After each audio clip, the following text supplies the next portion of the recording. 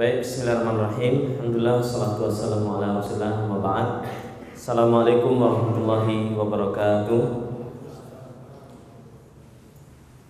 Ikhwan dan akhwat sekalian yang akan oleh Allah Kita bersyukur di kesempatan yang berbahagia ini Kita bisa memulai kegiatan kita Dan Alhamdulillah sejak tadi malam bersama kita salah seorang ya syekh dari Saudi Arabia. Beliau ini salah satu pengajar di staf Kementerian Pendidikan juga di Kerajaan Arab Saudi. Ya namanya aku bisa baca di atas. Ya. Dan e, mudah-mudahan kebersamaan beliau bisa menambah semangat kita dan pembahasan pada kesempatan ini terkait dengan keluarga, hak-hak keluarga, intinya tentang bagaimana membina rumah tangga insyaallah taala. Fa natrukul fursah li fadilatihi falyatafaddal mashkura majura. بسم الله الرحمن الرحيم والحمد لله رب العالمين والصلاة والسلام على أشرف الأنبياء المرسلين نبينا محمد وعلى آله وصحبه أجمعين أما بعد نسأل الله سبحانه وتعالى بأسمائه الحسنى بصفاته العلى أن يفتح علينا وعليكم بالعلم النافع والعمل الصالح ونسأله سبحانه وتعالى أن يلهمنا الرشد والسداد والتوفيق ونسأله سبحانه وتعالى لنا التوفيق والهداية وأن يستعملنا وإياكم في طاعته عز وجل وأن يجعلنا مباركين أينما كنا وأن يجعلنا أئمة للهدى ومصابيح للدجى وذلك بامتثال كتاب ربنا عز وجل وكلام رسول الله صلى الله عليه وسلم ثم اني اشكر الله سبحانه وتعالى على هذا التوفيق وهذا الاجتماع وهذا التيسير واساله سبحانه وتعالى ان يجعل هذا الاجتماع مباركا نافعا ثم اني اشكر المشائخ واشكر هذه الجمعيه وعلى راسها فضيله الشيخ محمد زيتون وفضيله شيخنا المترجم وجميع الإخوان والحضور أشكرهم وأدعو لهم بالتوفيق والسداد وقبل أن ندخل في هذه الدورة أنا أريد أن نبين كما قال النبي صلى الله عليه وسلم لا يشكر الله من لا يشكر الناس إنه من الواجب علينا أيها المسلمون أن نشكر أهل الفضل فينا خصوصا إذا كان الإنسان قد جاهد وعمل وبذل من أجل هذا البلد ومن أجل دينه فمن أكبر العيب ومن أقبح الأخلاق أن ننكر فضل هذا الرجل سواء فضيلة الشيخ محمد أو غيره ممن يعمل معه فيجب علينا احترامهم وتقديرهم والدعاء لهم والوقوف معهم ومساعدتهم بما يريدون فباجتماعنا جميعا حول هؤلاء الكبار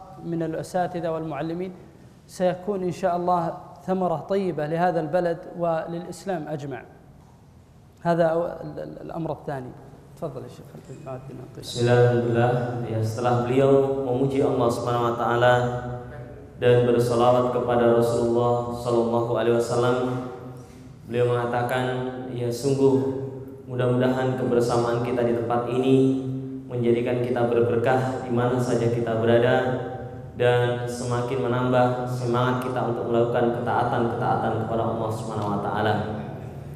Di antara perkara yang ingin saya sebutkan pada kesempatan ini adalah hendaknya kita bisa bersyukur kepada Allah dan berterima kasih kepada orang-orang yang telah memberikan yang terbaik bagi kehidupan kita. Ya, karena Rasulullah mengatakan tidak bisa bersyukur kepada Allah Subhanahu wa taala seseorang yang tidak bisa bersyukur kepada sesama manusia atau berterima kasih kepada sesama manusia. Tentu kata beliau kita memiliki kewajiban untuk berterima kasih kepada orang-orang yang telah memberikan kebaikan kepada kita, para ulama, orang-orang yang telah bekerja dan beramal, terutama di lembaga ini yang eh, dipimpin oleh Ustadzun Al-Fadhil Ustadz Muhammad Zaitun Rasmi dan yang lainnya dari para asatidah kita. Kebersamaan kita bersama mereka dan dukungan kita bersama mereka dalam melakukan ketaatan akan memberikan manfaat yang besar bagi kita ataupun bagi negeri ini ya di masa-masa yang akan datang sehingga jamaah sekalian akan oleh Allah Subhanahu wa taala sebuah keberuntungan ketika kita bisa menetapi jalan ketaatan ini. Jazakallah khair. أيضا آه،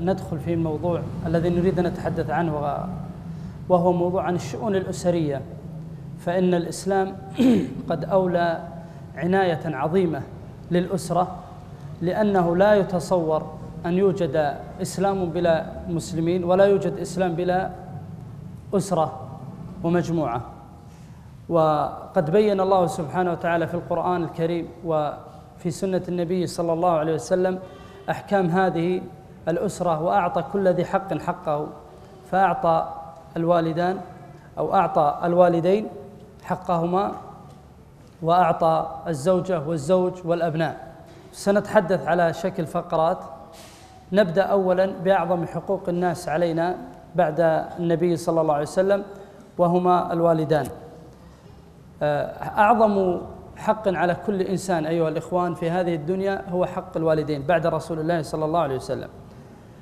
ننظر مثلا نأخذ آية من كتاب الله عز وجل وهي من أعظم الآيات التي لا بد أن تكون دائما في أذهاننا وأن تكون سلوكيا حاضرة في حياتنا اليومية مع أهلنا وهي قول الله جل وعلا وقضى ربك ألا تعبدوا إلا إياه وبالوالدين إحسانا ننظر هنا إلى قول الله جل وعلا إحسانا هذا من التعابير الجميلة في اللغة العربية الله سبحانه وتعالى لم يحدد لنا كيفية هذا الإحسان أو لم يحدد لنا الصورة لماذا؟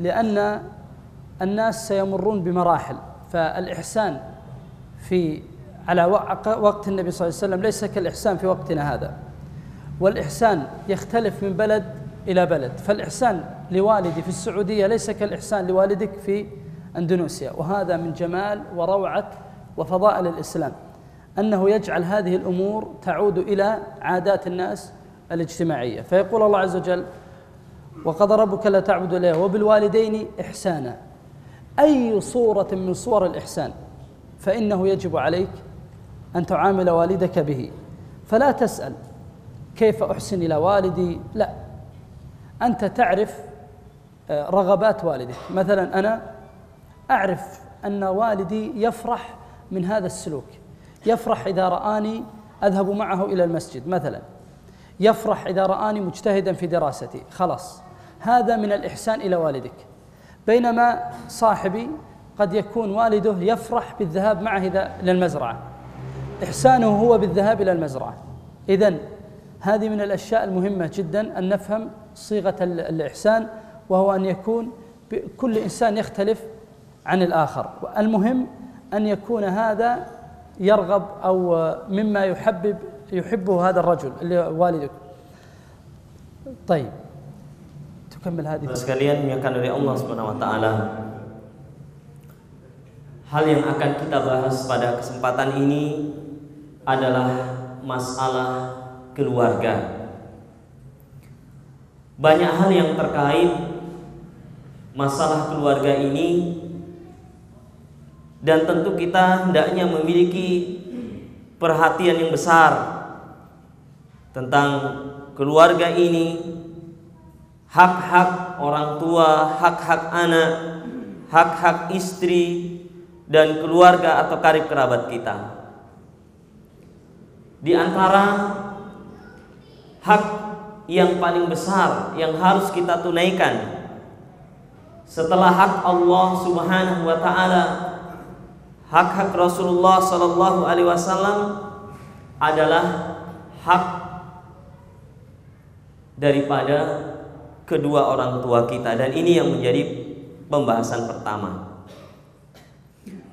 Allah Subhanahu wa taala mengingatkan dalam Al-Qur'an yang merupakan ayat yang sangat agung yang menjadi prinsip dalam permasalahan ini adalah firman Allah Subhanahu wa taala wa qada rabbuka alla ta'budu illa iyyahu wa bil walidaini ihsana dan Rabb kalian telah mewajibkan kepada kalian agar tidak beribadah kecuali kepada Allah semata dan mewajibkan kalian pula untuk berbuat ihsan kepada kedua orang tua.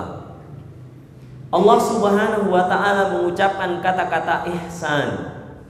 Dan ini di dalam susunan bahasa Arab dia memiliki makna yang mendalam dan sangat indah.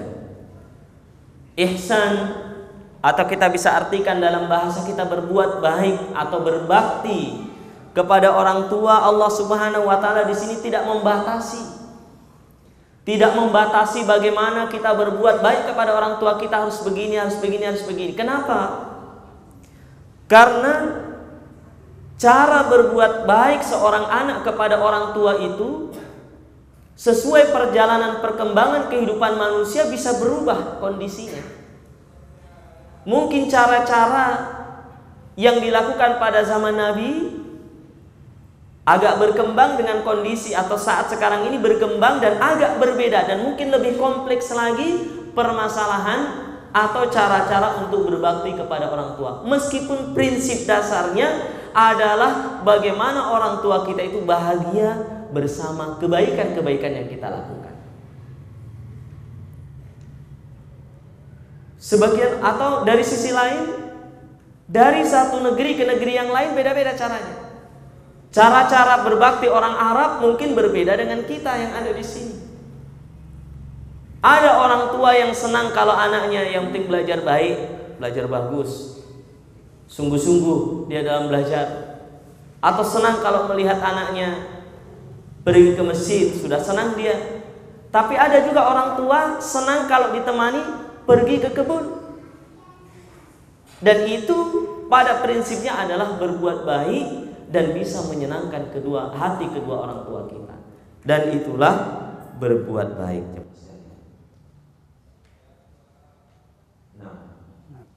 جزاك الله خير. بعد أن ذكر الله عز وجل الإحسان العام وأنه يجب على كل إنسان أن يحسن إلى والديه وإن كان صغيرين في السن نبه هنا إلى مزيد العناية بحق الوالدين عند الكبر فقال جل وعلا إما يبلغن عندك الكبر أحدهما أو كلاهما إذا في هذه الآية تنبيه على أن حق الوالدين يزداد تعظيما كلما ازدادت حاجتهما فإذا كان الابن عنده والد كبير في السن لا شك أن كبير السن يحتاج إلى مزيد من العناية ويحتاج إلى مزيد من الرفق أيضا إذا كان والده آه، مريضا لا قدر الله فيه مرض من الامراض فانه في هذه الحاله يحتاج الى مزيد من الاحسان، مزيد من العطف، مزيد من اللطف، مزيد من الكلام الجميل واللطيف. ايضا اذا كان الوالد لا فقيرا معدما ليس عنده من المال ما يست يعني ينفق به على نفسه فانه في هذه الحاله يجب على الابن الاحسان على هؤلاء الوالدين. فينبغي ايها الاخوان أن نعتني بهذه الموضوع هنا قال الله عز وجل إما يبلغن عندك الكبر إحداهما أو كلاهما فقل لهما قولا كريما إذا نبه الله سبحانه وتعالى على أن من صور الإحسان الإحسان له صور كثيرة عندنا من الصور الإحسان المالي أن تنفق عليه إذا كان فقيرا أو تهديه الهدية عندنا من صور الإحسان القولي فقل لهما قولا كريما يا أبي آه، تعطيه من الكلمات التي ترغبه تفرحه بك آه، بعض الآباء يحب بعض الأسماء أو بعض الألقاب أو بعض المزاح من الكلام فإنك تستمر معه بهذا الإحسان فقل لهما قولا كريما وكذلك الوالدة الأم أيها الإخوان الوالدة بحاجة إلى مزيد عناية أكثر وإن شاء الله ستأتينا في الآية الأخرى ان مزيد عنايه بالوالده بالكلام اللطيف بعض بعض الشباب او بعض الفتيات تدخل عند ابيها او عند امها ولكنها تدخل بنفسيه متوتره تبين لوالدها او تبين لوالدتها انها مهمومه انها قلقه انها تعيسه انها تكره هذا من صور الاساءه الى الوالدين الصحيح اذا دخل الابن على والديه يبين السرور والفرح وأن حياتنا سعيدة حتى لو كان غير سعيد هذا من ألطف ومن أجمل ما يكون لأن والدك لا يستطيع أن يعمل لك شيء بعض الوالد يعني بعض الآباء لا ي... لا عند... ليس عنده مال أن يسعدك به ويعطيك فيأتي بعض الأبناء ويدخل عند والد يقول إلى متى ونحن هكذا مللنا من هكذا ثم لا يزال والده أو والدته تعيش من الألم النفسي والعذاب النفسي وأنتم تعرفون هذا الكلام إذا ما الواجب؟ الواجب علينا إذا دخل الإنسان أن يظهر الشكر ويثني على والديه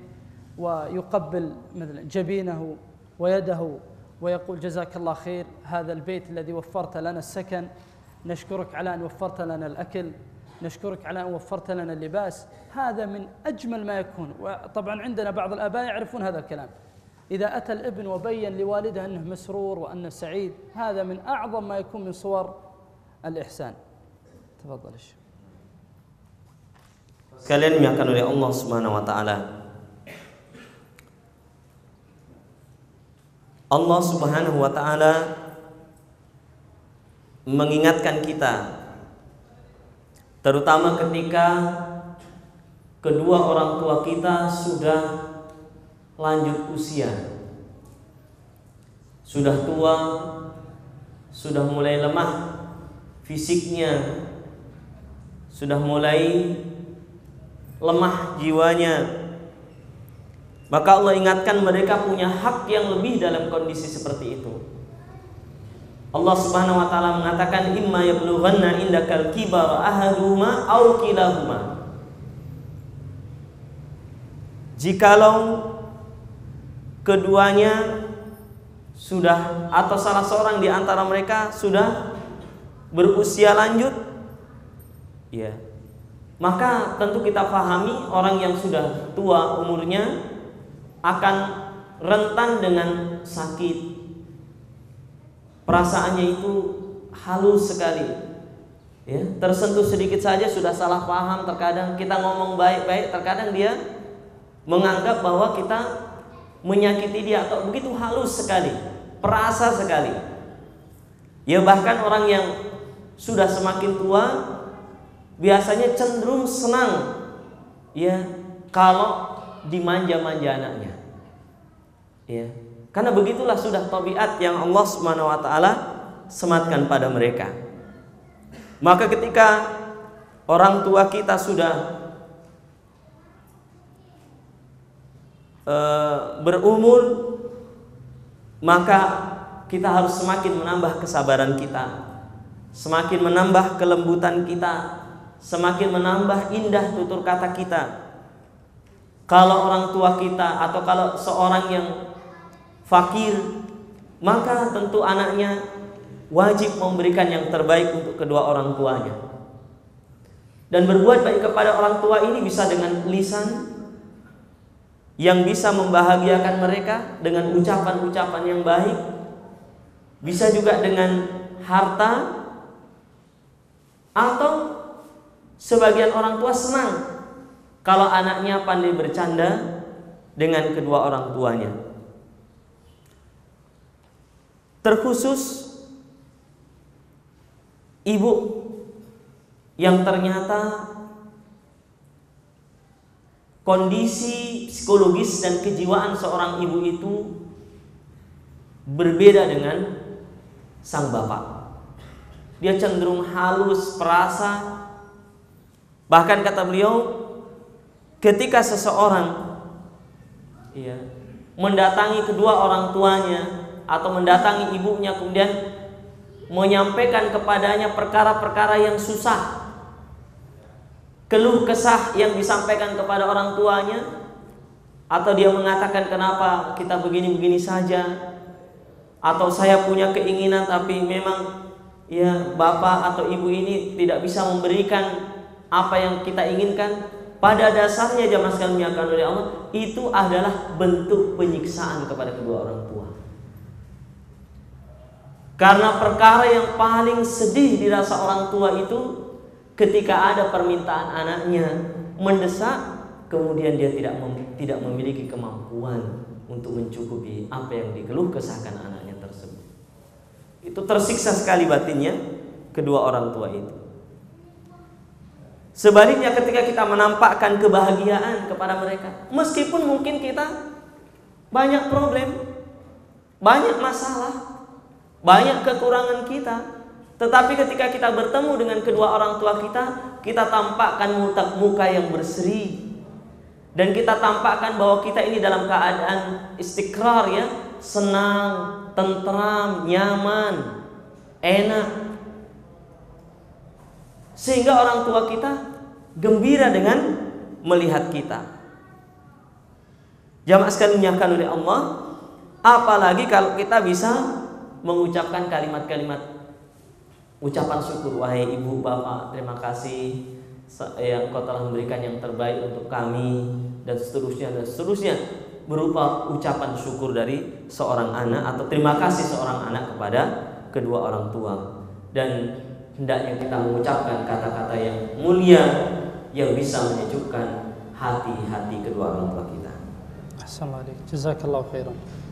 في الآية الأخرى يقول الله سبحانه وتعالى وصينا الإنسان بوالديه إحسانا حملته أمه كرها ووضعته كرها وحمله وفصاله ثلاثون شهرا حتى إذا بلغ أشده وبلغ أربعين سنة قال ربي أوزعني أن أشكر نعمتك التي أنعمت علي وعلى والدي وأن أعمل صالحا ترضاه وأصلح لي في ذريتي إني تبت إليك وإني من المسلمين الآيات عدة آيات وردت بلفظ الوصية توصينا بحقوق الوالدين وهنا نقف مع قوله جل وعلا وصينا الإنسان بوالديه إحسانا وسبق أن لفظ الإحسان هنا شامل وعام لجميع ما يتعارف عليه الناس من الإحسان في هذه الآية إضافة مهمة جدا بين الله فيها سبحانه وتعالى وجها من اوجه الزياده في حق الام قال الله عز وجل عن المراه عن الام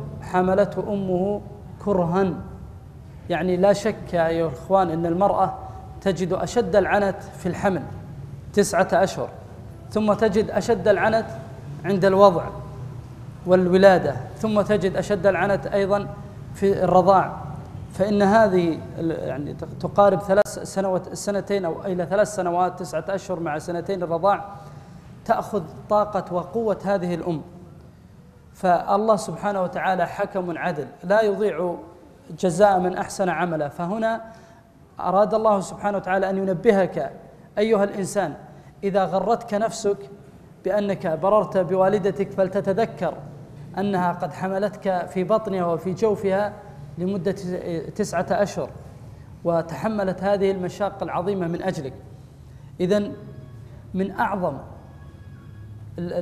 من أعظم الأخلاق السيئة أو من أسوأ الأخلاق أن يأتي الإنسان يعق هذه الأم التي حملته تسعة أشهر وأرضعته وولدته فهذا التنبيه التنبيه الثاني التنبيه الثالث هنا هو لكبار السن أكثر منه إلى الشباب لما قال الله عز وجل فلما بلغ ولما بلغ أشده وبلغ أربعين سنة هذه فيه إشارة إلى أن كبير السن يجب عليه أن يبر بوالديه أكثر لماذا؟ لأنه قد أدرك وبلغ رشده وعقله وعادة يكون الله سبحانه وتعالى قد رزقه بالأولاد فلا بد أن يحسن إلى هؤلاء الوالدين ويتابع الإحسان إليهم فإن كثيرا من الناس أيها الإخوان بعد أن يأتيه أولاد يبدأ يشتغل بأولاده ثم ينسى والديه فهنا قال ولما بلغ شدة وبلغ أربعين سنة قال ربي أوزعني إذا ننتبه كبار الإخوان الكبار السن إلى الانتباه إلى آبائهم بالإحسان ومعاهدتهم لا ينسونهم خصوصا أن الإنسان يعني بعد أن يصل أربعين عادة يكون والده وصل الستين أو أكثر ويكون بلغ بلغ الأشد وبلغ كبر السن وضعف جسده لا يستطيع أن يعمل وهذا من أهم الأشياء التي ينبه اليها هنا تفضل Ikhwas sekalian dimuliakan oleh Allah Subhanahu wa taala. Ayat yang lain ya ayat yang dibacakan oleh Syekh tadi ya panjang ayatnya tapi kita ambil eh, potongan-potongan secara bertahap menjelaskan bahwa Allah wasiatkan bahwa wasainal insana biwalidayhi ihsana dan kami wasiatkan kepada manusia kami wajibkan agar berbuat baik kepada kedua orang tua. Ada hal yang penting di sini selain secara umum kedua orang tua kita maka Allah memberikan bobot yang lebih perhatian kita kepada ibu-ibu kita.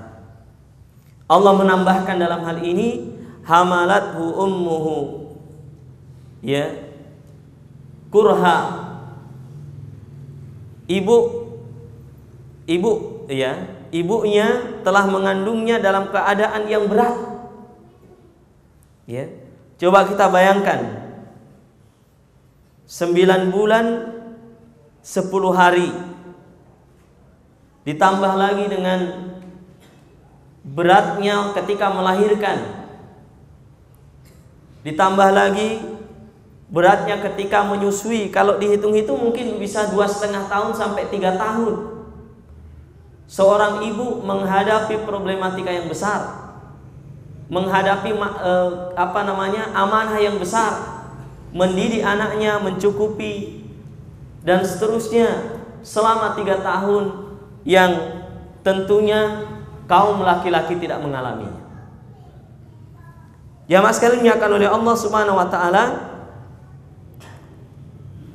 Al-Qur'an mengajarkan kita untuk tidak menyia-nyiakan orang-orang yang telah berbuat baik dan terkhusus kepada kedua orang tua kita dan ibu kita. Maka sebuah dosa yang paling besar adalah ketika seseorang itu durhaka kepada ibunya ya durhaka kepada kedua orang tuanya dan terkhusus kepada ibunya kemudian dari ayat ini Allah Subhanahu wa taala ingatkan ketika mereka dalam posisi sudah lanjut usia dan kita juga sudah mulai dewasa ya hatta idza balagha ashudda ya wa balagha arba'ina sana sehingga ketika anak tadi tumbuh berkembang kemudian dewasa bahkan punya anak-anak ya, dia punya anak seharusnya kita yang sudah memiliki anak yang sudah memiliki keluarga lebih bisa memahami bagaimana beban berat kita dan lebih bisa menjadikan kita semakin sadar bagaimana kewajiban ke kewajiban kita kepada ibu bapak kita. Mungkin kalau masih bujang dia belum bisa merasakan bagaimana susahnya merawat anak. Bagaimana kalaupun kaum wanita yang masih gadis ya, yang belum pernah melahirkan, belum bisa merasakan bagaimana beratnya hamil, beratnya menyusui dan bagaimana beratnya melahirkan. Tetapi ketika masa itu sudah berlanjut dan telah dilalui masa-masa itu sehingga seorang telah merasakan bagaimana memiliki anak, keluarga, mendidik mereka dan beratnya, hendaknya menjadikan orang tersebut sadar. Oh, ternyata begini yang namanya mengurus anak-anak. Sehingga ketika dia sudah memiliki anak, Allah ingatkan juga jangan sampai lalai kepada orang tua. Karena kebanyakan ketika seorang sudah menikah, punya anak, punya istri, punya suami, melalaikan kedua orang tuanya dengan alasan sudah sibuk dengan anaknya. Ini jamaah sekalian yang dimuliakan oleh Allah Subhanahu wa taala. Ya. Jadi ketika kita sudah berkeluarga, kita memiliki keturunan, maka hendaknya harus menjadikan kita semakin eh, apa namanya? mencintai dan semakin berbakti kepada kedua orang tua kita. Nah. Assalamualaikum. La ya al قال الله عز وجل ووصينا الإنسان بوالديه حملته أمه وهنا على وهن وفصاله في عامين أي حمله في عامين وفصاله آه، ليس حمله وإنما رضاعه وفصاله في عامين أن اشكر لي ولوالديك إلي المصير ثم قال الله سبحانه وتعالى وإن جاهداك أي الوالدان وإن جاهداك على أن تشرك بي ما ليس لك به علم فلا تطعهما هذا التنبيه الأول الأمر الأول فلا تطعهما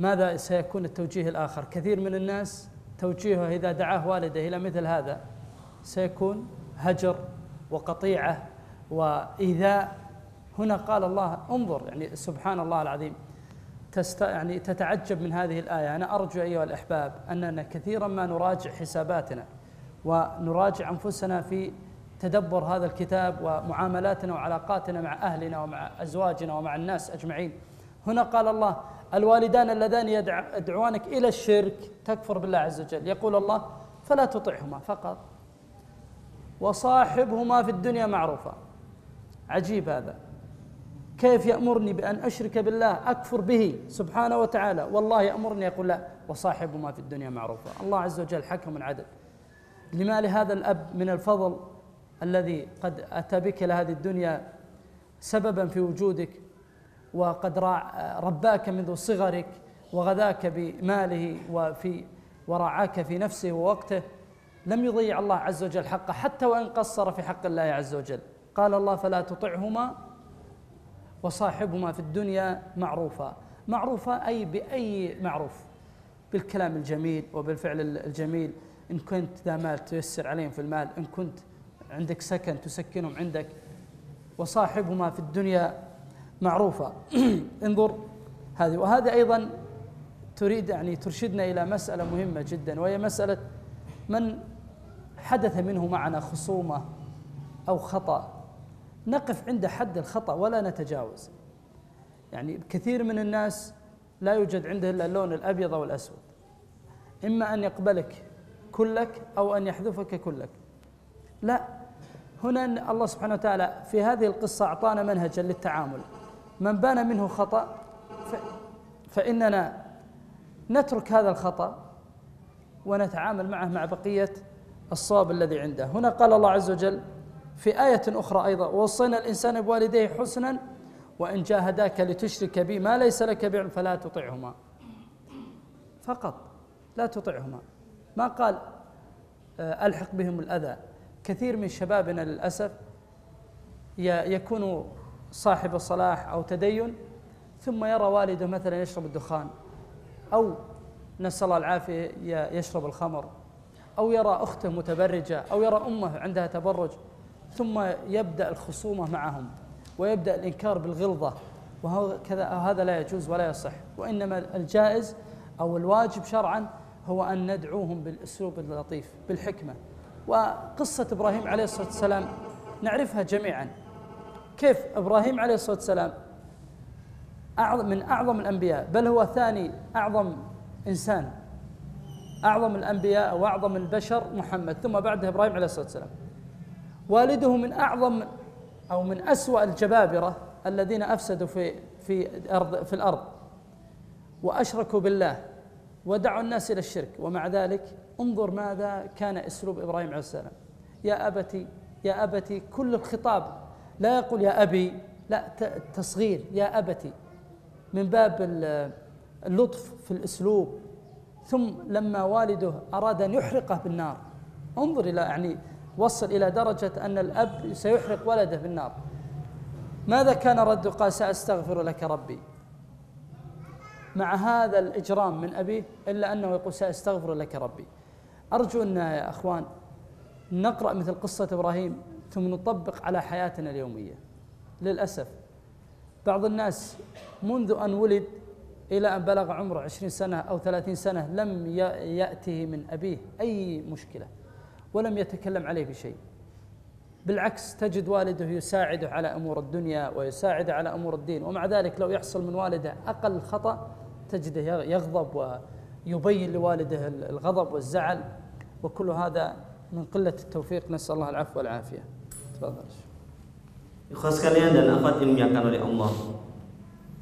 Allah Subhanahu wa taala berfirman di surat Luqman ayat yang ke-14 dan ke-15 ووصينا الإنسان بوالديه حملته أمه وهنا على وهن وفصاله في عامين أن اشكر لي ولوالديك إلي المصير Dan kami wasiatkan kepada manusia untuk berbuat baik kepada kedua orang tuanya dan ibunya telah mengandungnya dengan kesusahan di atas kesusahan wa fi amaini dan menyapihnya ya selama dua tahun agar mereka bersyukur kepadaku dan bersyukur kepada kedua orang tuanya silahkan bagi anda yang telah memiliki istri tanya bagaimana beratnya mengandung ya tanya kepada mereka bagaimana beratnya ya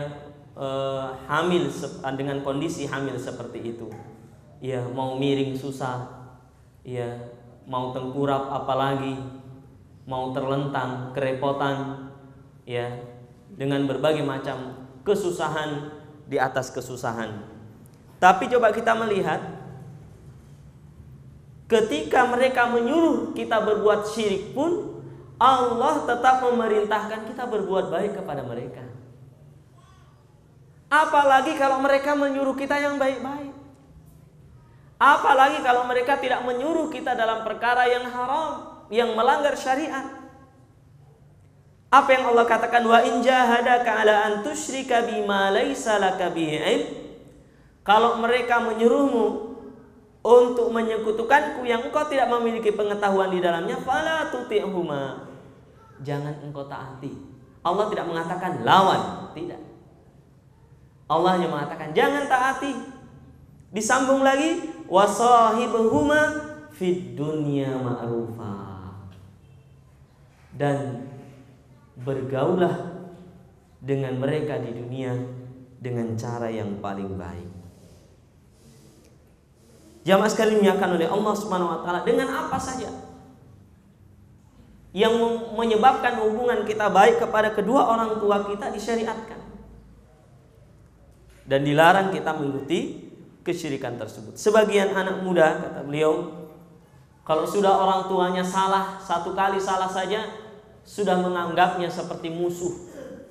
Padahal dari kecil dia dibiayai, dikasih makan, dari rezeki yang Allah karuniakan, dikasih pakaian, dikasih sekolah sampai sarjana, S1, S2 dan seterusnya begitu banyak yang telah dia lalui tetapi apa begitu orang tuanya salah sudah menghardik luar biasa seolah-olah seperti musuh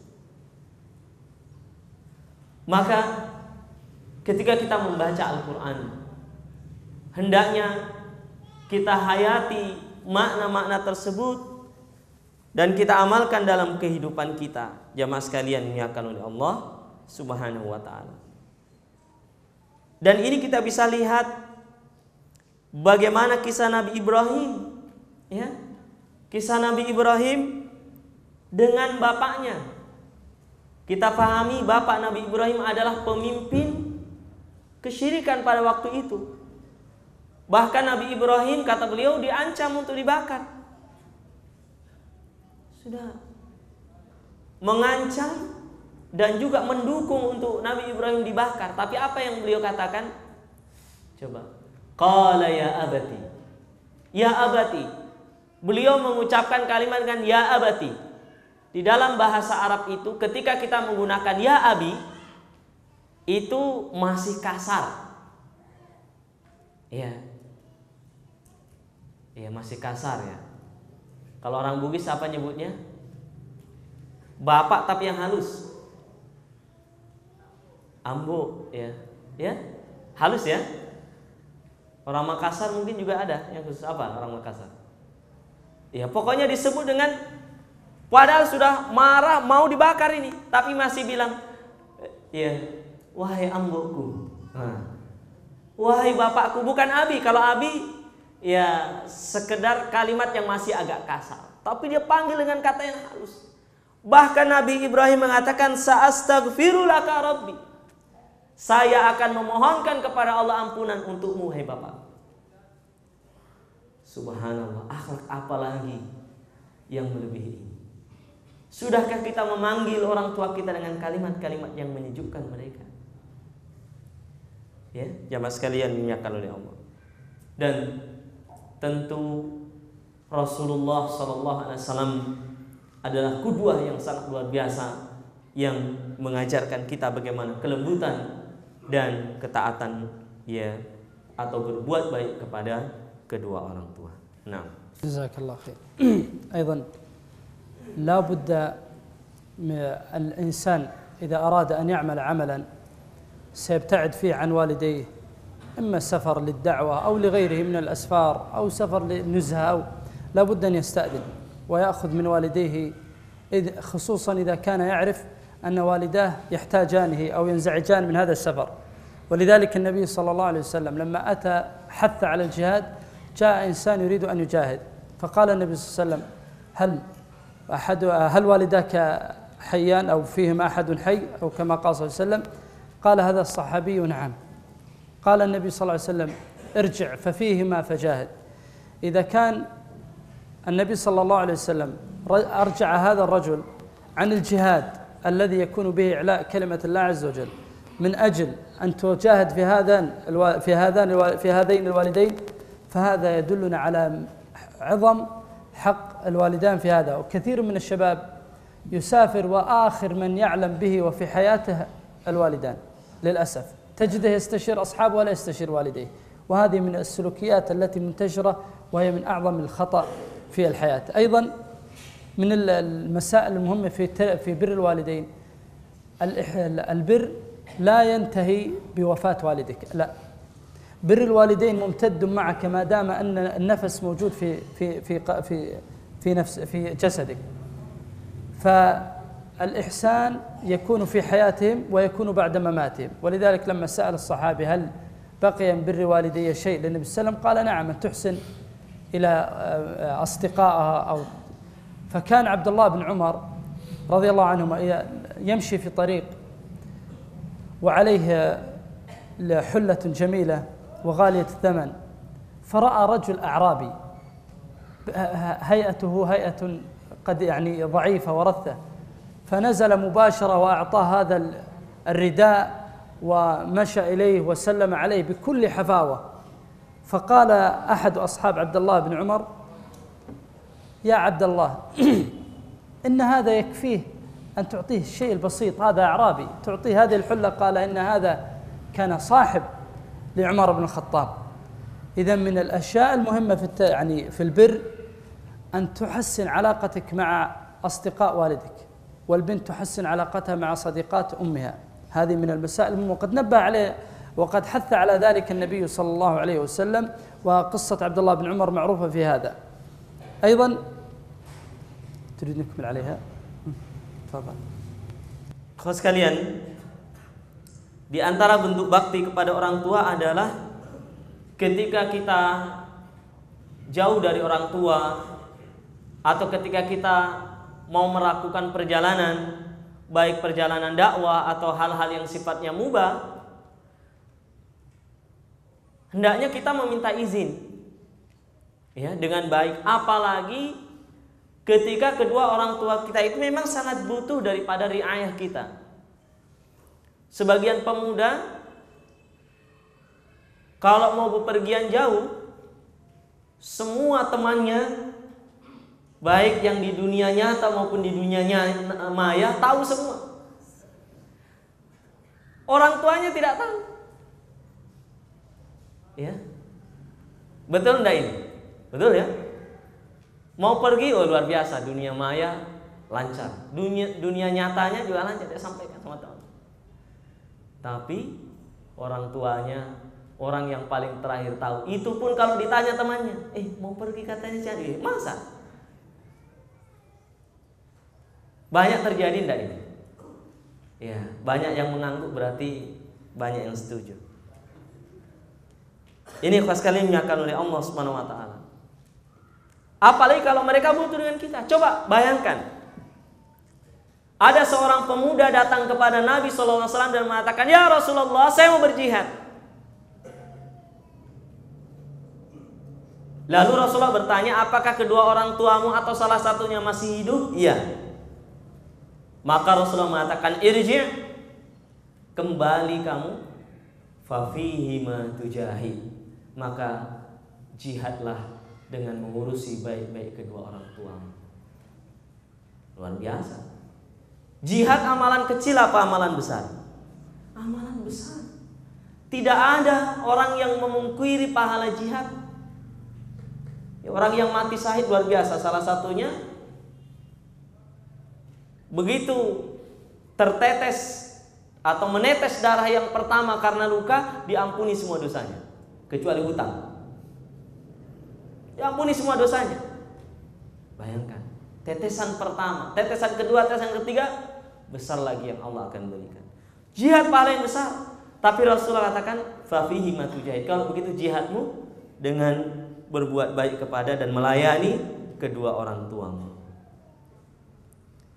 Kemudian berbakti kepada orang tua itu tidak terbatas selama mereka masih hidup atau berhenti kalau mereka meninggal. Berarti berbakti kepada orang tua itu sepanjang zaman. Selama napas masih dikandung badan. Ya. Selama kita masih menyaksikan matahari di pagi hari, maka kita was, masih wajib berbakti kepada orang tua. Bagaimana caranya? berbuat baik kepada sanak saudara, handai taulan, ya, handai taulan keluarga keluarga karib kerabat dan orang yang dikenal oleh orang tua kita. Ibnu Umar radhiyallahu anhu beliau pernah lewat di satu tempat kemudian ketemu seorang Arab Badui beliau bawa rida ya kayak selendang yang mahal dan indah ketemu orang itu beliau berikan dan banyak kisah yang terkait dengan Ibnu Umar. Suatu ketika juga beliau menuntun onta seseorang yang ternyata orang itu dulu adalah sahabat dekat daripada Umar radhiyallahu anhu dituntun onta. Jadi meskipun setelah meninggal dunia orang tua kita masih banyak kesempatan kita. Bagi yang perempuan berbuat baik kepada kerabat ya ibunya, bapaknya, kemudian pokoknya menyambung silaturahim dengan mereka. Ini adalah bagian daripada berbuat baik dan berbakti kepada orang tua kita. Jazakallah khair. أيضا آخر فقرتين إن شاء الله التنبيهات من الأمور المهمة أيضا أكثر الحضور متزوج والحمد لله وعنده زوجة وهذا توجيه وإرشاد مهم لكل زوجين وهو أن يجتهد كل إنسان من الرجل أو من المرأة أن يساعد الآخر على بر والديه فأنا أساعد زوجتي على بر أمها وأبيها وهي تساعدني على بر بأبي وأمي للأسف بعض النساء تجعل نفسها يعني كالزوجة الأخرى لأمه تبدأ المخاصمة والمعاندة وتغار من أمها وهذا من جهلها وحماقتها وقلة علمها المرأة الذكية التي تريد أن تحتل مرتبة عظيمة عند زوجها لا بد أن تساعده على بر بوالديه وأن تظهر محبة والديه أمامه وأن تدعو لوالديه أمامه وأن تسعى إليهما بالهدية وبالخدمة وبالمساعدة وهذا من من كرم الأخلاق إذا كنا نقول أن الإنسان إذا قدم الماء في الشارع للكافر فإن الله يعطي حسنات كيف إذا أتيت وقدمته إلى والد زوجتك مثلا أو المرأة إلى والد زوجها فلا بد أن نفهم هذا الكلام ونعي كثير من الشباب والفتيات يريدون الاستقلال ويعني يأتيهم الشيطان ويظن أن الاستقلال والسعادة هي أن يكون لوحدهم ثم يهجر والديه أو تهجر والديها ويبتعدون عنهم ولا يحسن إليهم وهذا للأسف هذا من قلة المروءة وهذا من اللؤم كيف هؤلاء والدك يربيك عشرين سنة خمس وعشرين سنة ويسعى لك حتى تتزوج ثم تأخذ هذه المرأة وتبتعد وتترك والديك إذا أنا أعطيك يعني النساء يسمع الكلام هذا والشباب أيضا الطريقة التي تريد أن تجعل يعني المرأة تريد أن زوجها يحبها هي أن تساعده على والديه إذا رأى أنها تعمل معه بهذه الطريقة عرف أنها امرأة ناصحة له وهكذا كان حال الصحابة الكرام وحال قبل ذلك النبي صلى الله عليه وسلم فإن الرسول صلى الله عليه وسلم جاءت أم إحدى زوجاته أظن نسيت الآن أم حبيبة أتى ذكرت أم حبيبة نعم أتاها أبو سفيان أبوها وهو كافر فأراد أن يجلس فامتنعت سحبت البساط أخذت البساط قالت لا تجلس أنت كافر فاستشارت النبي صلى الله عليه وسلم فقال اجلسي فأذن لها أن تجلس أن يجلس على بساط رسول الله صلى الله عليه وسلم هذه نسميها عندنا في الدورات الآن التدريبية هذه من قمة المهارة في الوصول إلى قلب الطرف الآخر أنا عندما أرى إنسان يحسن إلى والدي لا شك أني سأحبه وأتنازل معه في كل شيء هذه المسألة وأخرى نختم بها في موضوع بر الوالدين إذا قلنا أنه يجب على الأبناء البر فإننا ننبه تنبيها بسيطا وهو أن الآباء لا بد أن يساعدوا أبناءهم على البر أيضا يعني بعض الآباء عرف حقه الشرعي فبدأ يتعب أولاده أنتم لا تبرون بي أنتم لا تحسنون إلي ويبدأ يضايقهم ويا ويلكم من الله ويدعو عليهم لا الأب الذكي العاقل يساعد أولاده إذا كان ابنك فقير لا تطلب منه شيء إذا كان ابنك مشغول لا تشغله أكثر وأكثر يعني بعض الآباء يأتي ابنه من الصباح إلى الليل يشتغل ثم يقول تعال بالليل وأشتغل بالنجارة عندي مثلا هذا مكلف للابن وإن كان يطيع أيضا يقبل الأب من كل شيء من من صور المهمة للآباء التي تجعل الابن يزداد نشاطه في البر الدعاء له إذا أتى ولدك بقطعة من هذا مثلا جزاك الله خير يا ولدي الله يوفقك الله ينفع بك هذه تسوى الدنيا كلها لأنها منك هذا يشرح صدر الابن يجعله كل يوم يسعى إلى أن يقدم من المزيد ونحن سمعنا يعني أنا أعرف آه، آباء يعني عندنا رجل جلس تقريبا ثمان سنوات وهو ابنه يشيله من الفراش إلى الفراش أبدا لا يتحرك منه شيء أبد جلس تقريبا سنة أو سنتين الأكل من هنا لكن ماذا كان؟ هذا الأب كان كثيرا ما يدعو للولد ويعطيه الكلام الجميل يا ولدي أنا ما أستطيع أن أجازيك بشيء يا ولدي أنا آه، لو أستطيع أن آه، أذهب بك إلى مكة بالعمرة ذهبت بك هذه المواقف من الآباء تجعل الأبناء يزدادون حماسا ولكن للأسف بعض الآباء الابن يبذل ويتعب وبالأخير لا يرى ولا يسمع كلام يقول هو واجب عليه لا هذا ليس بصحيح عبادتنا واجبة لله عز وجل يجب أن نعبد الله سبحانه وتعالى مع ذلك الله عز وجل شكرنا فإذا برني ابني أو بنتي لابد أن أشكر وأدعو له بالكلام الطيب نعم Ikhwan dan akhwat sekalian ya, ini tambihat atau hal yang perlu beliau ingatkan dua poin sebelum kita menutup eh, fakrah atau eh, pembahasan pertama ini. Pertama, ya alhamdulillah di sini kalau saya melihat mudah-mudahan tidak salah yang hadir rata-rata sudah menikah. Ya. Ya ya, insyaallah eh, kebanyakan sudah menikah. Mudah-mudahan di akhwat juga demikian, kebanyakan sudah menikah. Beliau sebutkan di dalam sebuah keluarga baik kita sebagai seorang istri maupun seorang suami tugas kita adalah membantu pasangan kita untuk berbakti kepada kedua orang tuanya. Mohon maaf kata beliau sebagian wanita, mungkin juga ada sebagian laki-laki, cuma yang beliau sebutkan sebagian wanita karena ini kebanyakan. Iya. Sebagian wanita kalau sudah punya suami mertua perempuannya itu dianggap sebagai pesaing seolah-olah diposisikan sebagai istri kedua ada enggak seperti ini ada banget kita di Indonesia ya jadi memposisikan mertua, terutama ibu itu sebagai pesaing yang harus dikalahkan. Dan ini banyak terjadi. Atau sebaliknya sebagai seorang suami menjadikan istrinya itu miliknya saja, tidak dibantu untuk berbuat baik dan berbakti kepada orang tuanya. Ini salah.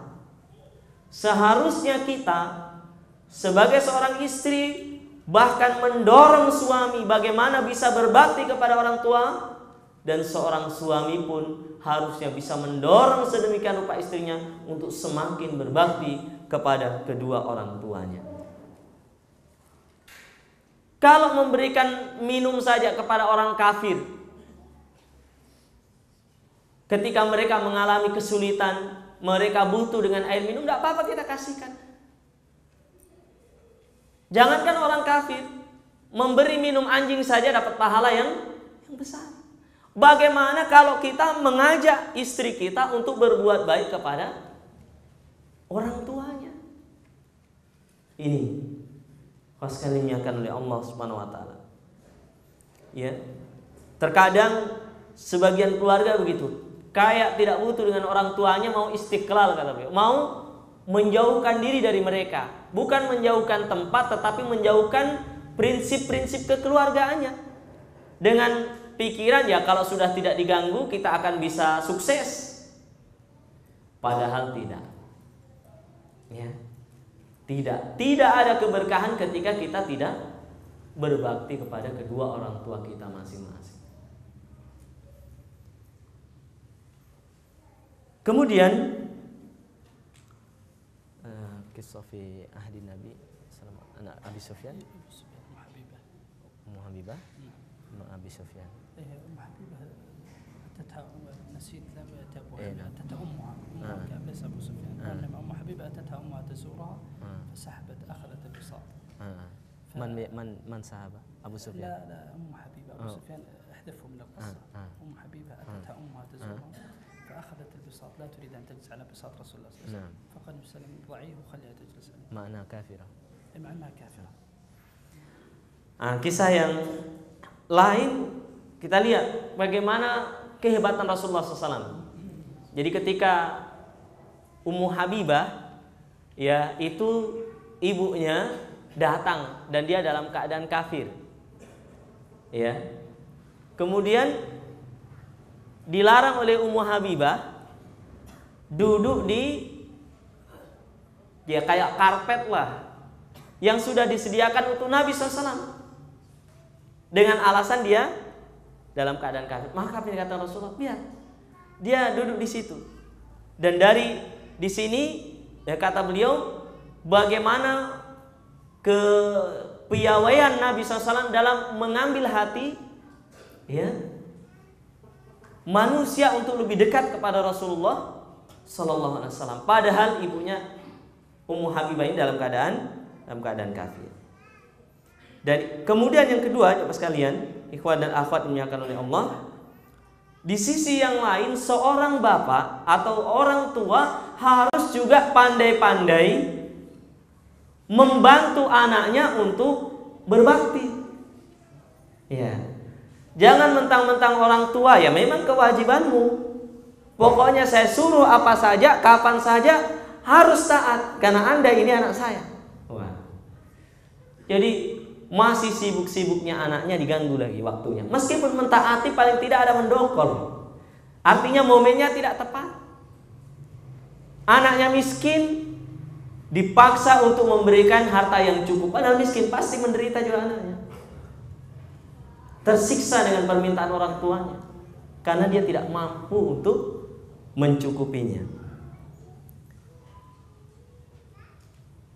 Saya kata beliau melihat ya ada orang tua yang cukup bijaksana. Kalau dikasih anaknya sesuatu meskipun kecil bersyukurnya luar biasa, berterima kasih luar biasa kepada anaknya. Akhirnya anaknya memiliki semangat untuk terus berbakti. Tidak mencela. Ya. Jadi sebagai orang tua, baik bapak maupun ibu, kita juga harus bijaksana. Bisa mentakdir, bisa mengapresiasi dari apa yang telah diberikan anak kita kepada kepada kita menjadi orang tua yang bijaksana dan pandai mendidik atau mengajak anaknya untuk membantu mereka berbakti kepada kedua orang tuanya. Yang tidak kalah pentingnya dalam hal ini adalah memperbanyak mendoakan. Doakan anaknya. bahkan ya jazakallah khair, mudah-mudahan Allah berkahi engkau wahai anakku, mudah-mudahan engkau begini dan seterusnya. Bukan mengumpat atau mengeluarkan kata-kata yang yang buruk. Ya, sebagian orang tua begitu. Ya, dibicarai dikata yang macam-macam anaknya. Padahal kalau anaknya dikata katai begitu, orang tuanya.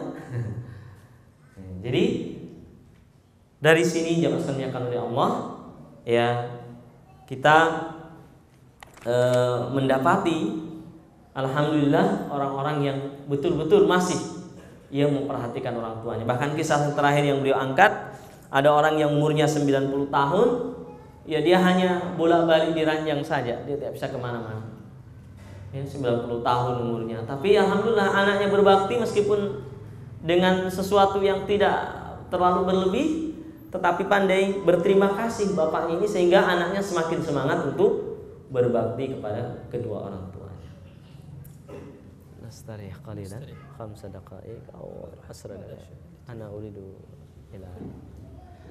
Jadi begini, alhamdulillah Eh, poin yang pertama tentang berbakti kepada orang tua kita telah selesaikan dan kita istirahat sedikit ya